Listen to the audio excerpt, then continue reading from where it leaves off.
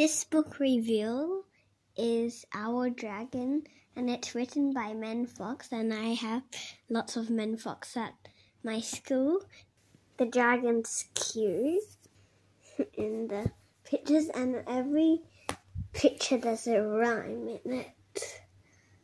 And I like rhymes and it's about the dragon doing mistakes and it's okay to do mistakes and it's okay to cry because the dragon didn't want to cry.